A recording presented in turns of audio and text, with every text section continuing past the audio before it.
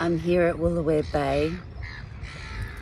The pelicans are behind me, and I'm just going to do um, like a warm up yoga dancing. And the pelicans are there. Let's hope they come in a bit close, but they're just the most magnificent, magnificent birds. They're just majestic. Let's hope they come in.